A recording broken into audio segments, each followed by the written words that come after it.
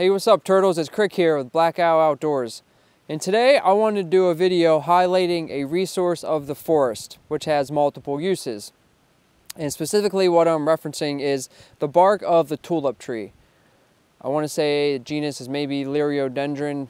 The characteristics of this bark are pretty great for actually starting fires, using for tinder, making cordage, and just has that fibrous sort of characteristic that then you can you know use your imagination of what that would be good for.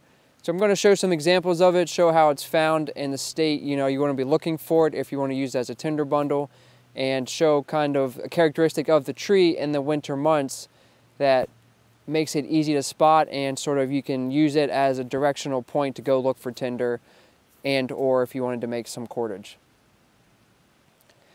I have an example of a dead branch in front of me right now and the characteristics I was, was talking about and referencing of the fibrous nature, the shreddy type style bark is very apparent right here in this example. And this is a branch that is probably, maybe was hanging dead on the tree and then since fallen through forces unknown. And you can see this as I pull at this. You can see the fibers just running the length of the bark. And now this is the outer bark is taken off of this, which is probably just fallen off through time. And this is right underneath, if you can pick this up right here, would be the outer bark, this gray, which would be covering all these fibers. And you see you peel, push that back and the fibers are exposed. So basically, instantly when you see a resource like this that has this fibrous characteristics that are running, you know, that are continuous and running the length of, of the plant in any way um, it's noticeable to you few things go off in the head is one, it's probably going to be pretty good. You know, whether it's really great or not can be used to make cordage, and then the strength is obviously dependent on the plant. Um, but you can see as I pull this apart, and I'm, I'm being rough with it right now, but if I really wanted to use this for, for rope, I'd be a lot gentler with it. I'd break this off and really make sure I'm getting all these strands in a bunch that are connected to make it really easy.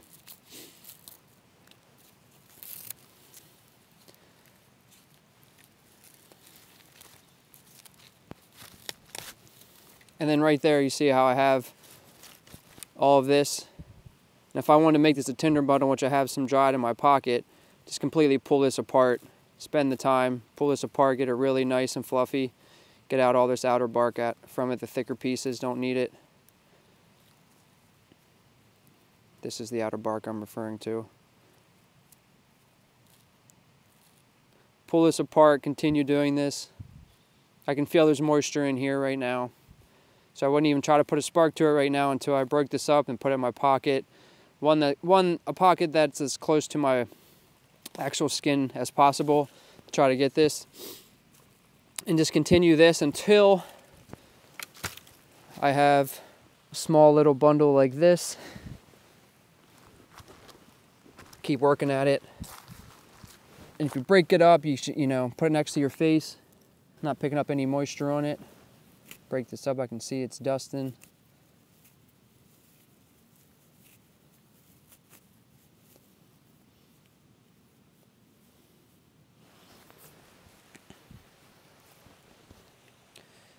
put a spark to it.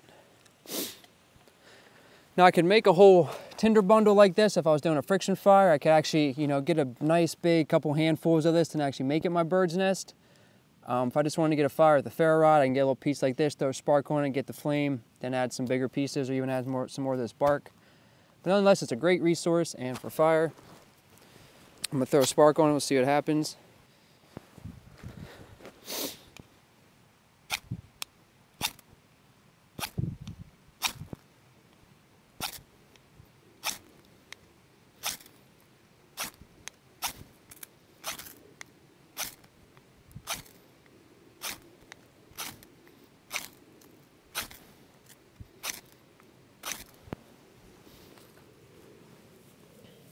doesn't want to go.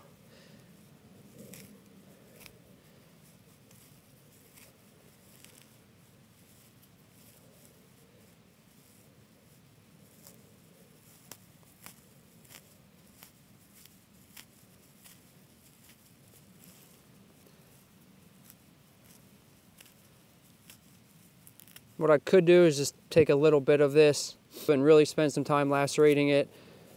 Just take it in my hands,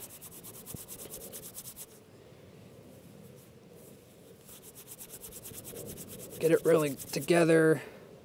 trying to do this. Turn it on itself.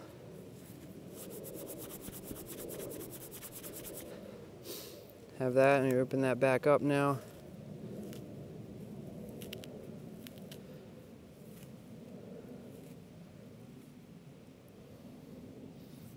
Let's give it another whirly bird.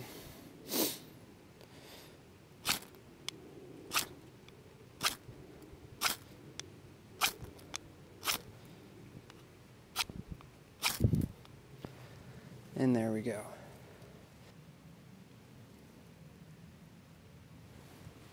Didn't want to go first, play around with it, you know, work it, work it till it goes.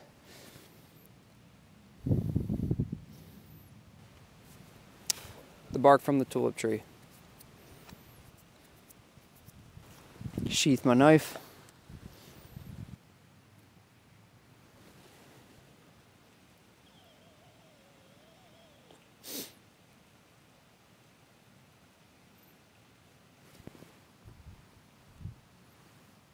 So why I chose to show this resource, resource right now in the winter time, you can tell it's winter, there's some snow around me, is because there's not a lot of organic plant material that makes it uh, maybe easier in the spring, summer months to find really dry tinder. So there's barks present year round, and yes, it'll pick up moisture, but it's still here year round regardless of the season. If it's wet, it'll just take a little bit uh, longer time to dry. So I just want to point out for that particular reason. And a characteristic of this tree is pretty noticeable in this eastern woodlands and the hardwood mixed conifer forest. I'll try to show you example silhouetted against the sky. If you look up at this tree canopy, first of all, a couple characteristics of the tulip tree is they grow really, really straight. And if you see at the top, the crown of these trees right here,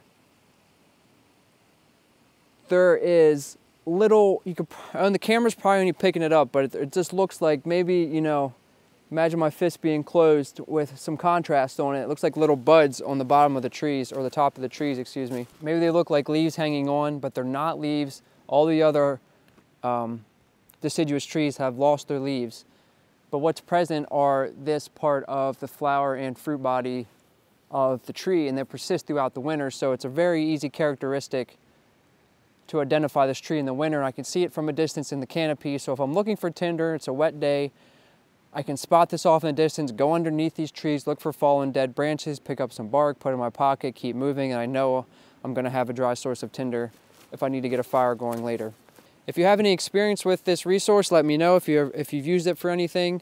Any other great uh, um, resources and tinder options for the winter, let me know.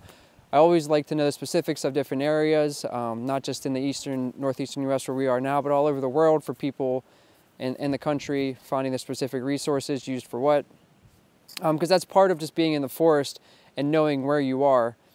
It, you know, I, I know the few options of tinder I have, which is not an easy resource to find, but it is present.